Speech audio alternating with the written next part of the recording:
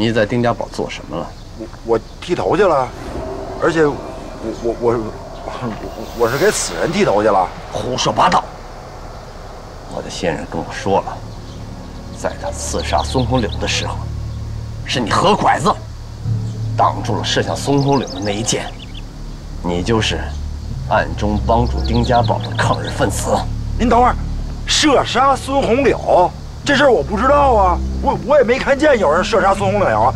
怎么还替他挡一箭？这都是从何说起，哪和哪儿这事儿都是。你这个大胆的刁民，看来不好好审审你，你是不会说实话的。啊！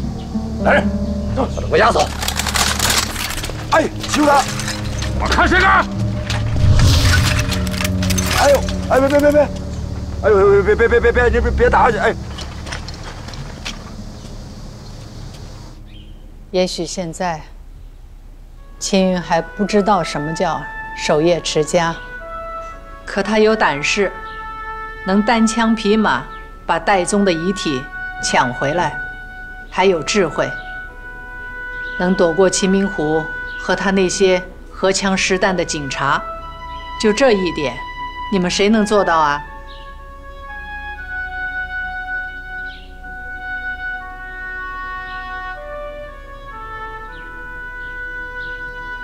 现在可是我们丁家最困难的时候，也是我们丁家堡最危险的时刻。这种时候，青云担任丁家大嫂是最合适的。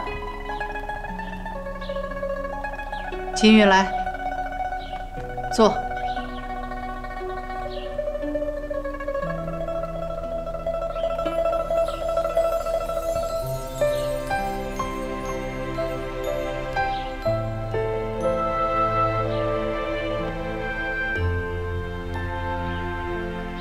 从今天起，丁家堡大小事宜都要听青云的。